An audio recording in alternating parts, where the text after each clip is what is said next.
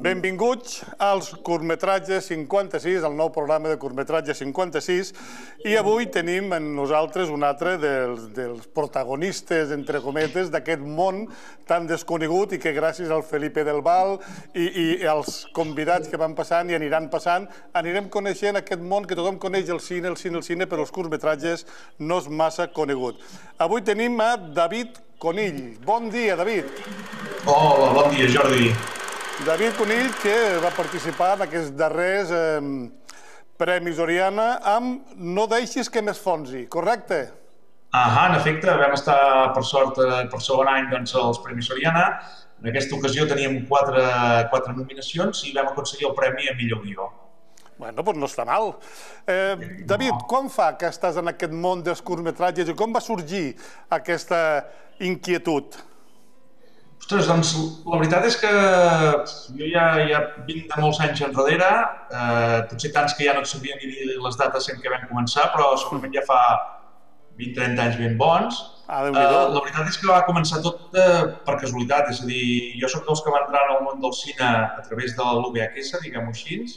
Eh, allò va obrir un món de possibilitats magnífiques, els estius eren eh, bueno, espectaculars perquè podies anar al videoclub i passar-te tot el que hi havia i més i la veritat és que allà va començar a cridar una mica l'atenció del que podia ser fer pel·lícules en petit format, per suposat, sobretot en el moment en què vaig entrar en el gènere de terror. És a dir, jo sóc d'aquelles persones que el cinema eh, m'apassiona eh, fins al punt que les pel·lícules de terror les visc eh, bueno, al màxim i, i clar, allò em creava aquella inquietud. Eh, per què? Perquè m'agradava molt, em cridava molt l'atenció, però en contrapartida les passava magres. És a dir, jo recordo de petit amb, eh, pel·lícules de terror en què no dormien tota la nit, és a dir, aquelles imatges m'estaven atacant constantment i això em creava una inquietud en què vaig pensar la millor forma d'afrontar-ho és intentar-ho crear tu i crear monstres i aquí vaig començar. Jo reconec que vaig començar en els curtmetratges en un gènere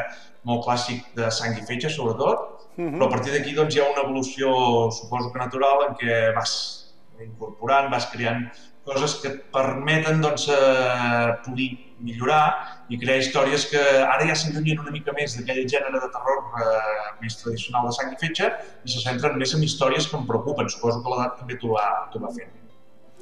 Sí, que diem que tu anat fent també, com és normal, una, una evolució i tenies en un principi el terror com a, com a únic objectiu i ara eh, t'has anat diversificant una miqueta i estàs fent ja una altra classe de curtmetratges. A banda dels Premis Oriana, en aquesta prolongada eh, teva trajectòria, imagino que t'has presentat a, a, a més concursos, no?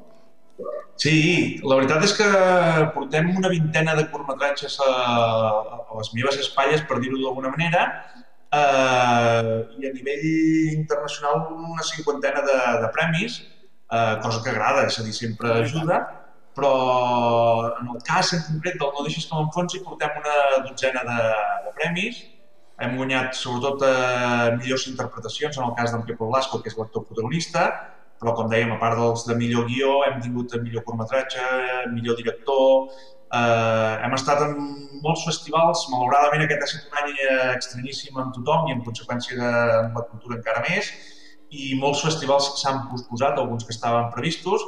En el cas del Soriana vam fer un esforç eh, abismal, i com en molts d'altres, per exemple, d'aquí una setmana estarem al Festival de Girona també, i tots ells s'han anat adaptant i han anat eh, tirant endavant eh, un projecte que, que en molts casos ha estat complicat, d'altres s'han fet en línia, i alguns s'han quedat posats doncs, per l'any vinent.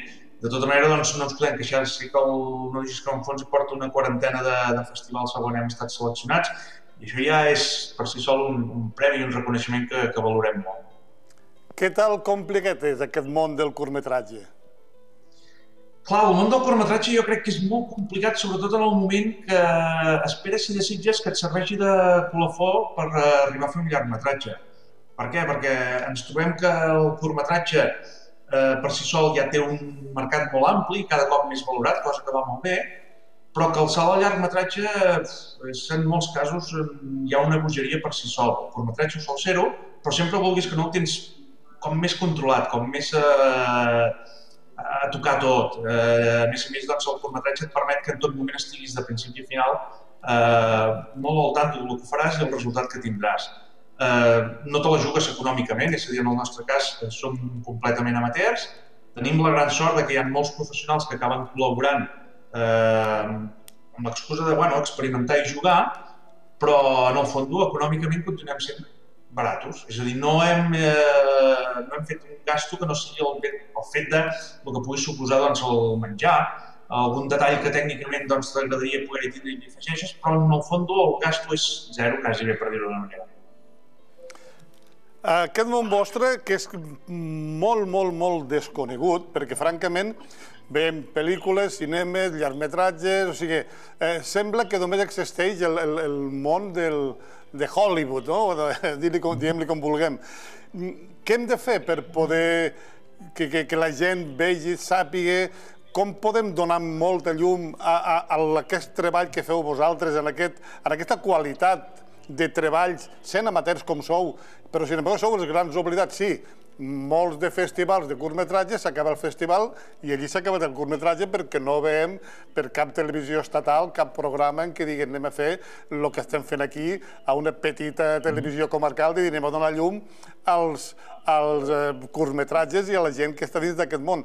Com és? Que, que, què passa que el curtmetratge a nivell general, que és el germà petit, el patito feo que diríem, que, que, que, què hem de fer? Sí, la veritat és que és, és complicat, però penso que els últims anys s'ha millorat molt en curtmetratges. Eh, fins i tot no a nivell només dels festivals, sinó del ressò que se n'en fa en mitjans de comunicació. El vostre cas és un exemple claríssim i ens serveix doncs, perquè puguem arribar a un públic que, a diferència dels festivals, doncs, no hi arribaries normalment i que m'agradaria pensar que el curtmetratge el bo que té és que si per casualitat eh, enganxes algun treball, doncs potser t'atrapa i descobreixes alguna que desconeixies. Sí que és veritat, per exemple, que, que TV3 eh, a nivell de Catalunya està fent alguna coseta amb curtmetratges eh, per al canal 33, en aquest cas, però, per exemple, Filmin, també la plataforma eh, té un apartat de curtmetratges i això ja comença a denotar que hi ha algun interès. Sí que és veritat que, excepte els que estem molt vinculats en els curtmetratges, la gent d'a pie, diguem-ho d'alguna forma, doncs probablement no ho tenen tant en compte. Recordo quan era petit que sí que veies a cinema un curtmetratge i després una pel·lícula i això s'ha perdut, però m'agradaria pensar i crec que el mercat està canviant. I l'exemple més clar el tenim amb, amb Corto Gijón, on nosaltres vam rebre una menció especial i on curiosament el primer premi el va guanyar un curtmetratge del Javier Fesser, un actors que de tots coneguts, no només per, la, per els Mortadelo i Filemón, sinó per la sí, sí. va anar als Oscars de Campiones i que allà presentaven un curtmetratge. Llavors, des del moment en què directors de renom, i no són els únics, doncs fan curtmetratges, encara que sigui entre una pel·lícula i una altra, doncs ja demostra que és un llenguatge que té interès. Jo el comparo molt amb les sèries que podem veure en algunes plataformes. Les sèries acaben sent d'una hora o mitja hora, però no deixen de ser un curtmetratge en què té molts capítols. Llavors, bueno, jo crec que de mica en mica es va guanyant terreny i estic, estic molt content personalment perquè es valora. Anem de cara a, aquests últims minuts, de, aquests 5-6 minuts últims que queden d'entrevista, David, i anem a centrar-nos en el No deixis que m'esfonsi, en el curtmetratge que veurem tot seguit. Què veurem? Quins actors, eh, quanta gent ha participat? Com l'heu muntat? Què, de què va? Fes-nos tot un, un resum del que podrem veure a continuació amb el No deixis que m'esfonsi.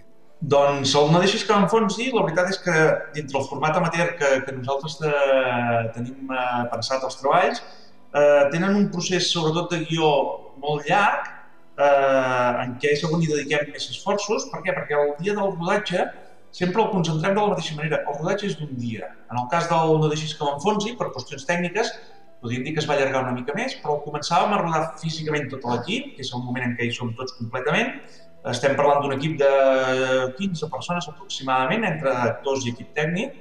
Eh, de protagonistes realment n'hi ha tres, no hi ha més actors que tres. Però el rodatge es va començar a fer un dissabte a la tarda a les 4 de la tarda.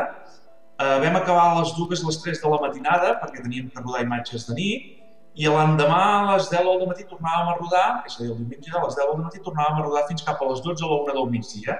És a dir, que fèiem, i ho concentràvem tot molt per una raó perquè no som Hollywood, com abans has dit, i en conseqüència els rodatges no tenen aquell glamour que ens volen fer creure, i en conseqüència, la, si els rodatges, si això m'hi porta l'experiència, els allargues més de dos o tres dies, el primer buf que hi ha d'animació inicial els dilueix en menys de 24 hores.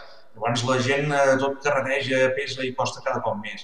Llavors, en aquest cas, a més a més, tenim la sort de treballar amb actors eh, que s'hi dediquen professionalment i el que no pots fer tampoc és eh, robar-los part de la seva feina del dia a dia per fer un rodatge de quatre dies.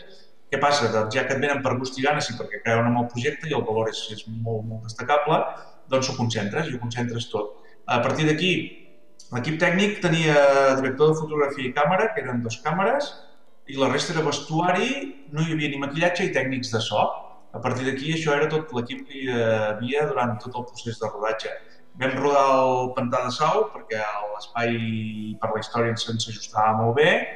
Uh, vam tindre que forçar a portar una rulota al lloc perquè l'espai era un lloc molt difícil d'accés. Uh, ens van permetre accedir-hi de forma privada i això també ens va ajudar a poder rodar molt però tenim que tindre que, en compte que els rodatges es complicaven i sobretot en aquest cas perquè no teníem eh, previst el dia del rodatge, és a dir, jo mentre vaig anar a veure l'espai era magnífic perquè hi havia molta tranquil·litat i era entre setmana, però el pantà de Sau al cap de setmana s'omple de molta gent i d'algunes caldes lanxes que van voltant constantment per allà. Però el tècnic d'això va ser complicadíssim i per als sectors, perquè mentre xerraven eh, sentíem i passaven lanxes que llavors vam tindre que anar eliminant a post-port. Uh, però bueno, al final bueno, tot va quedar bé perquè m'agradava que la història es donés la sensació d'un espai solitari i que no se sentir res més que els ocells i poca cosa més. I ja, ja l'última pregunta, què veurem, sintetitzem-nos, què veurem tot seguit al curtmetratge 56 amb No deixis que m'esfonsi? Dos doncs, eh, pinzellades de la trama. doncs la veritat és que veurem uh, una història molt senzilla de soledat, que és el que a mi m'interessava en un entorn fantàstic. Eh, M'agrada explicar històries que tinguin molt de fantàstic i en aquest cas m'agradava incorporar-la però donant sobretot la importància a la soledat i la relació dels personatges entorn a les poques coses que arriben a tindre, la importància de que en poquet pots arribar a fer molt. I sobretot, eh, com eh, ens aferrem d'una manera o altra a les coses que ens, eh, amb les que volem creure com tal de tirar endavant. I aquesta és la història d'aquest personatge central protagonitzat per en Pepo Blasco, amb dos secundaris que són magnífics, eh, l'Albert Ribalta i eh, Pep Miràs, que, que complementen molt bé aquesta història. Doncs David Conill, director de No em deixis que m'esfonsi, moltíssimes gràcies per haver atès aquí a, al Canal 56, a curtmetratge 56, i eh, a tot seguit anem a veure No deixis que m'esfonsi. Gràcies, David, i fins a Moltes gràcies, Jordi, i felicitats per la iniciativa i una forta abraçada a tots. Gràcies. Adeu. I en, tots, I en tots vostès ja, sense més preàmbul, no deixis que m'esfonsi.